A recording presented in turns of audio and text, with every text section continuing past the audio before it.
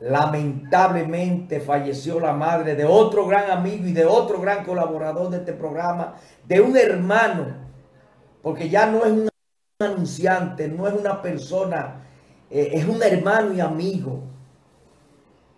La madre de nuestro amigo, don Tomás García, propietario de la estación Texaco Quisqueya, allá en Huiza, su madre también de noventa y pico de años, falleció en el día de hoy. ¿Y qué día?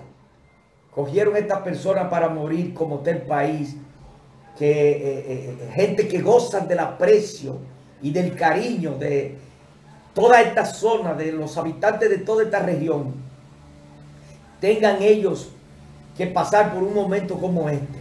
Así que el programa 60 minutos con Omar se siente compugido, se siente triste por estas dos pérdidas, Apolinar Cáceres y la madre de Tomás García y de sus hermanos, Yello, Fausto y otros más que son queridos por este programa.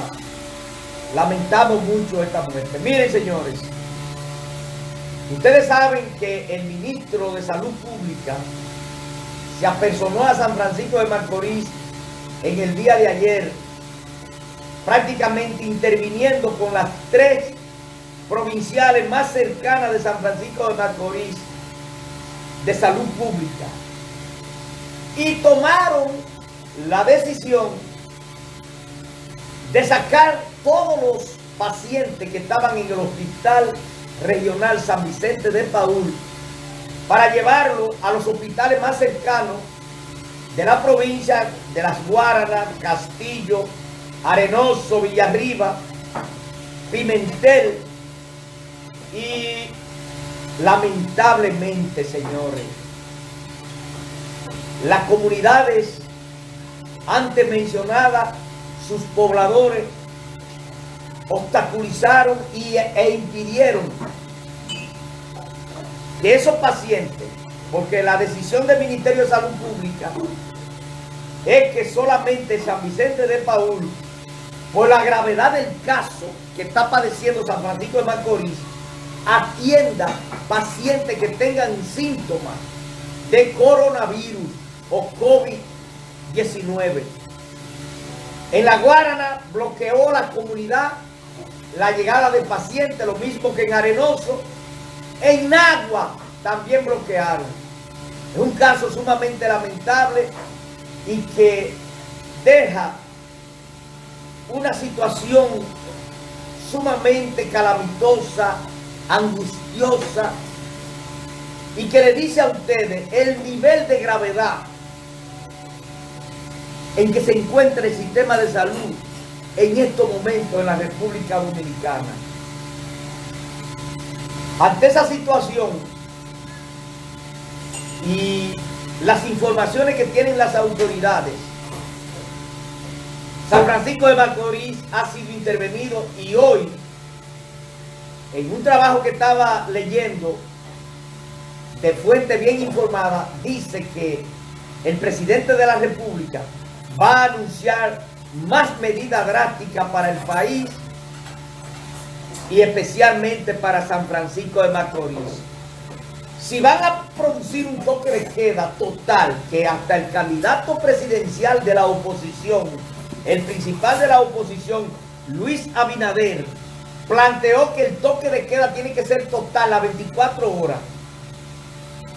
El gobierno tiene que tenerle respuesta también a esos ciudadanos que viven del día a día, que se levantan con su dos brazos a buscarse el sustento de su familia, porque tú no puedes tomar medidas drásticas sin tenerle respuesta a esa población, porque también es un drama humano, es verdad, y yo estoy de acuerdo que quien viole todas las disposiciones, porque aquí hay gente, especialmente muchos jóvenes, que toman este tipo de situaciones a relajo y que se burlan de las autoridades. Y eso no puede ser.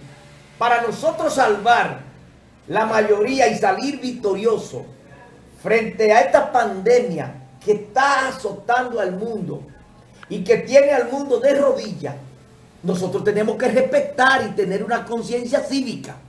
Nosotros no podemos venir y cada medida que se adopte, nosotros burlarnos de ella y, no aceptar la decisión que tomen las autoridades. Entonces, en ese sentido, yo estoy de acuerdo que la ciudad sea militarizada, siempre y cuando no se violenten los derechos. Claro, el que anda en la calle, si se establece un toque de queda, no tiene por qué andar en la calle, a menos que sean de las personas que se ha dicho que tienen la potestad para salir. Tenemos una llamada. Buena tarde. Buena. Sí, adelante. Hello. Sí, Sí, adelante. Omar, Sí. Está todavía. Omar, Sácala, sácala, que no, no, no deja, sácalo. Eh, eh, bueno, no vamos a coger llamadas, porque es que en, lo que se coge y la gente habla, no hace perder un tiempo precioso. No vamos a coger llamadas hoy. No vamos a coger llamadas, vamos a hablar de esto. Miren, cuando un pueblo es intervenido y se toman medidas tan drásticas, es porque la situación es grave, señores. Es porque la situación es grave. Nosotros, nosotros tenemos que ser colaboradores. Porque en la medida que nosotros colaboramos y hacemos las cosas bien hechas y nos acogemos a todas las medidas que las autoridades implementen, en esa medida salimos rápido de esto. Porque si esto usted prolonga meses, que hoy precisamente dice el Ministerio de Salud, es que empieza la ruta crítica de esta pandemia expandirse en el país, en las diferentes comunidades. Entonces el sufrimiento de nosotros será peor. Los ricos, que tienen mucho dinero, se les importa durar meses trancados porque tienen dinero para comprar comida suficiente. Pero ¿y los pobres? Entonces yo creo que si se tomó una medida que hasta la oposición en un sentido ha estado apoyando, Luis Abinader pronunció un discurso que planteó incluso que debe de constituirse un gobierno de unidad nacional, o sea, un opositor hablando en términos de colaboración, porque en este momento hay que dejar a un lado la bandería política y hay que pensar en el país. Esta politiquería hay que dejarla. Mira, Gonzalo Castillo, le están entrando con el asunto. Ahí hay un joven médico dominicano establecido en Cuba que está haciendo un desmentido. Si Ángel tiene ese joven médico cubano, se llama eh, Stalin, me parece que Echevarría. Él dice que no, que no era verdad que los médicos dominicanos que están en Cuba estaban varados. Eso fue una jugada de Gonzalo para hacer politiquería. Este momento no es de hacer politiquería, ni de la oposición ni del gobierno. El que haga politiquería con esta tragedia y con esta crisis humanitaria que está viviendo la República Dominicana, con esta crisis de salud, con esta crisis económica que se va a agudizar, es un enemigo de este país. Y nosotros tenemos que rechazarlo, sea del PRM, sea del PLD, sea de la Fuerza del Pueblo, sea del partido, sea de quien sea. El país está por encima de todo, señores. No podemos jugar cuando ya van 10 muertos y más de 400, porque en la mañana, a las 10 de la mañana, cuando Salud Pública dio el informe, ya iban 392 contagiados. ¿Usted se imagina que esta situación se le vaya de las manos a las autoridades?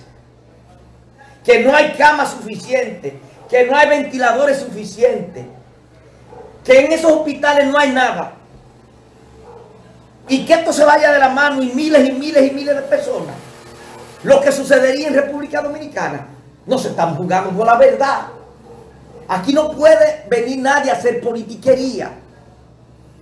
Aquí lo que hay que concentrarse en este momento es en que podamos detener el empuje que lleva esta pandemia, que lleva este virus, para nosotros poder salir airoso, para nosotros en dos o tres meses comenzar la recuperación de este país. Este país va a quedar mal en términos económicos. Aquí las empresas se están yendo a pique, las remesas se están yendo a pique, el crecimiento económico se va a detener.